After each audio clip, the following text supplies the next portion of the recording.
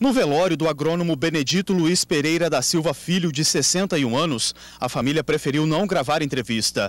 O crime aconteceu nesta casa em Monte Aprazível. Segundo a polícia, o suspeito é o filho da vítima, Gustavo Luiz Pereira da Silva, de 28 anos.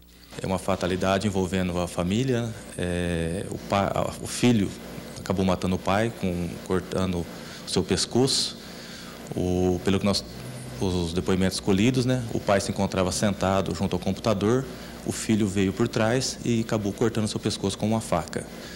É, logo em seguida ele fugiu da residência, né? Ele foi detido logo após, né?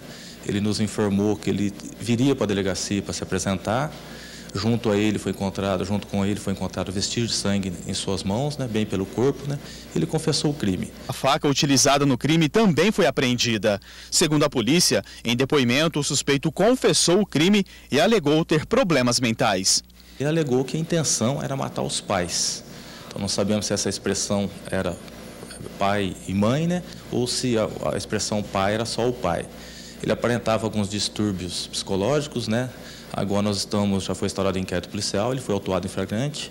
E nós vamos apurar agora o que realmente vinha ocorrendo entre a família. Em São José do Rio Preto, um caso parecido aconteceu no fim de semana. Segundo a polícia, um rapaz de 28 anos tentou matar o padrasto. A mãe disse que o filho também aparentava problemas mentais. Em ambas as situações, os suspeitos continuam presos.